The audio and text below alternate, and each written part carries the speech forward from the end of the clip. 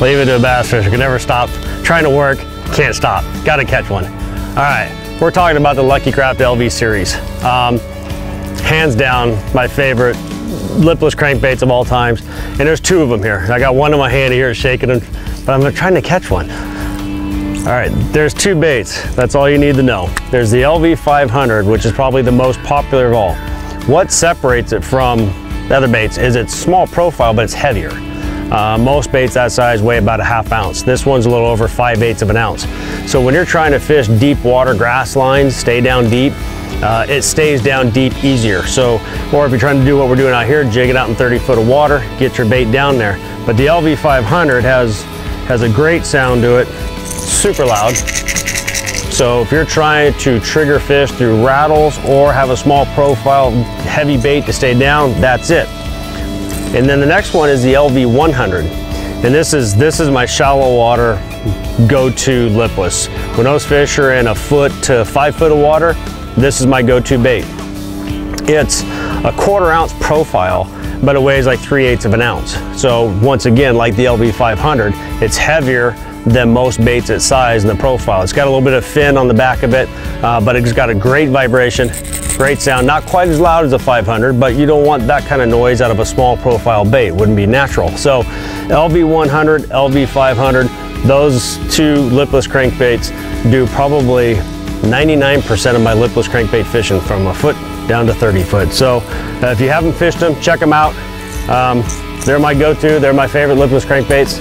I'm gonna go back trying to catch another one. As far as fishing the LV500 deep, there's, you can fish it a, it's kind of like a jig and spoon slash jig. Um, you know, unless you get in, some stuff gets real snaggy and hard to get it through, but as you can see, I'm just kind of popping it. You can stroke it faster or harder.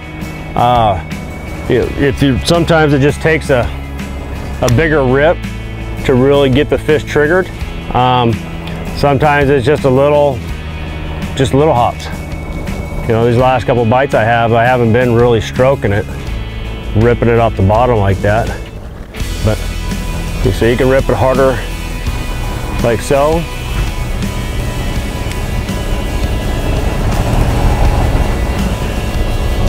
Now as far as doing this, I tend to, I use a, I use a seven foot rod most of the time. Um, and you can kind of go between, there's times I love a fiberglass. Oh man, that totally bite. I use sometimes just a crankbait rod. Um, the only reason is because when these fish do grab it down there, and sometimes you got kind of smaller treble hooks, lighter wire, that if you have too stiff of a rod, you can pull those hooks out of the fish pretty easily and that's not what we want to do. So um, like this rod I'm using my seven foot spinnerbait rod. It's a medium action. Um, so for this this is the most common rod I use for this situation. So it's got enough power to you know be able to get a decent hook set on the fish without overpowering the hooks.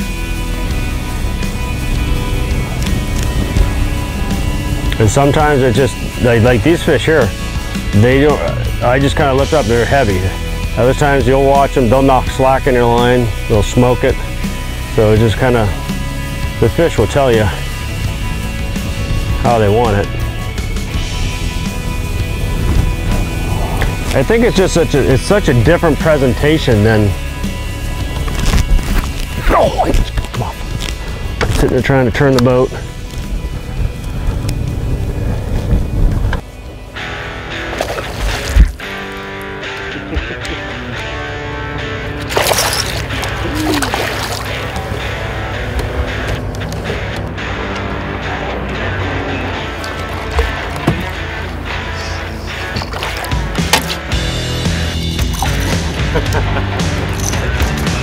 Oh yeah.